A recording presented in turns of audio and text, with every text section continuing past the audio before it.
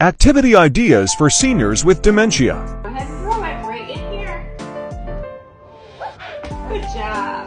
Which one says B? This is, this one What does that say? David. No, David. He's trying to get in the cookies. Is there another one? Yeah, that one. I'll take it.